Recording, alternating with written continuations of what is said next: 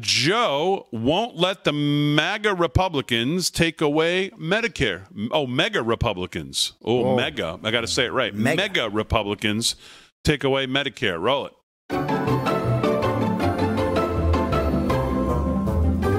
All right, let's see how many lies we can get. You docs are good. If there's any angels in heaven, they're all nurses, male and female. Was that a sentence? You know why? You guys Wait. let us. You guys make us allow us to live. Nurses make you want to live. I'm not joking. You lie there in the ICU, which I've Maybe we done need for a restart long time, here. and you look at those machines, oh, Yeah. and you we need a know. Gee, can we line goes restart this one more time? I mean, before we do I this, just got to focus in on that opening sentence. well, is that Okay, English? listen.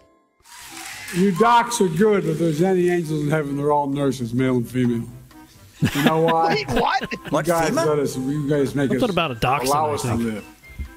Nurses make you want to live. I'm not joking.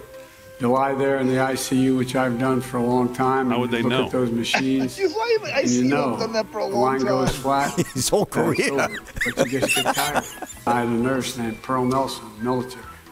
She'd come in and do things that I don't think you learn in medical school. Oh, nursing oh. school. Oh. Does She'd Jill know whisper about in my this? ear. Wait. Didn't, couldn't understand it, but she'd whisper, Sponge she'd lean bath. Down. She'd actually breathe on me to make sure that I was, there was a connection, a human connection. She even went home and brought back her pillow from her own bed because she didn't knew Not the one who had the you one it? comfortable. But I'm not joking. my pillow? My dad, if you have a seat, please take it. If you don't, come on up on stage else? with me. Take it. You know, and Robin, thank you for the introduction. Robin, my dad used to say it a little differently. My dad used to say everybody needs a little bit of breathing room.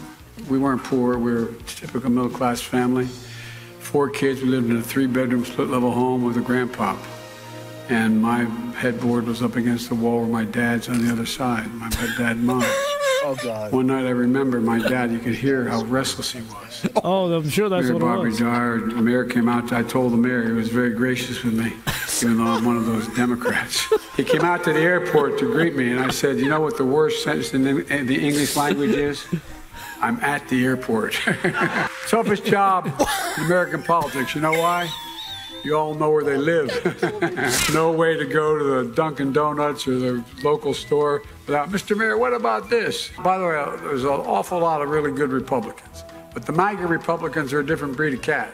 There you go. No, they're not bad or good. They're just very, they're very different. We expanded health insurance for millions under the Affordable Care Act What? by making it easier to sign up and by making it cheaper to get better health care and affordable care, saving families $800 a year.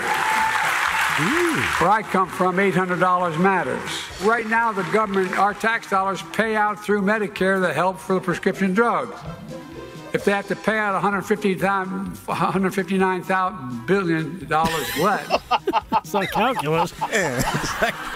less, They're laughing at him now. again, sadly, the mega Republicans, The mega republic. the Congress, those in Congress who threaten to undo the gains, they want to do away with that Affordable Care Act. You know, you hear ads of uh, the big spending Joe Biden. Here we go. In two years, Reduce the I debt. reduced the debt $1.7 billion. $1.7 billion. Baloney. The largest deficit reduction in American history. I want to make it clear I'm going to raise some taxes. As for my, my, my, my mega Republican friends, Of course you're. they say they want to reduce the deficit. We did the math. Based on what we know so far, they could change their minds. Their plans would explode the deficit, increasing it more than $3 trillion over the next 10 years. They're the facts. Not making any of you, as they used to say, is even is no longer relevant. But Google it. You know, the MAGA Republicans in Congress relevant. are uh, want, do they still want to cut Medicaid? During the State of the Union, as some of you may have seen, remember when Marjorie Taylor Greene was yelling, "Liar, liar, Biden's a liar." I'm going to be good. I'm going to be good. They don't want to cut anything. I so I when I asked, I said, "Okay, you don't want to cut anything." Everybody who says we're not going to cut Medicare or Social Security, when I asked them to join us and reject the cuts in Medicare, wasn't it something? They all stood up. Like I said, I believe in conversion. Maybe they found, as my grandfathers, maybe they found religion. Look, make no mistake. If mega, if mega Republicans Mega, mega. Mega. try to take away people's health care Here we go. by gutting the Medicaid and Affordable Care Act, If That's their I dream. will stop them. Folks, Watch me. families across the country are starting to breathe this a little easier. What? Jeez.